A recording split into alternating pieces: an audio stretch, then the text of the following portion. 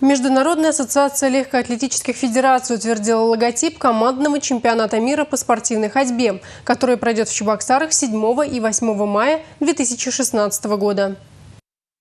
Год назад Кубок мира по спортивной ходьбе решили переименовать в командный чемпионат мира. Таким образом, в 2016 году Чебоксары первые в мире примут соревнования ходаков с новым названием. На соревнованиях разыграют 5 комплектов наград. На дистанции 10 километров у юниоров и юниорок, 20 километров у мужчин и женщин, 50 километров у мужчин.